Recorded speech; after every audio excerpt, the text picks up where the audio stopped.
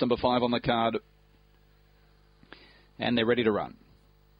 Racing, jumping quickly up on the inside was Little Rip also showing early speed through the middle was Enfield and now King Size Shambi whips up around the outside and takes the lead in second place was Banjo Manelli. To its outside Rocket Collision two lengths behind it hashtag along with Vesta who's got a fair way out of its ground with Enfield Mask and a long last was Little Rip off the back though. King Size Shambi's nicely clear out by 10 lengths running into second hashtag up on the inside of Rocket Collision then followed by Banjo Manelli and Vesta but around the corner and King Size Shambi has a smile for the camera wins by 15 lengths. Second goes to hashtag. Third in maybe Rocket Collision ahead of Enfield Mask. Then followed by Vesta, Banjo Manelli. Last in Little Rip.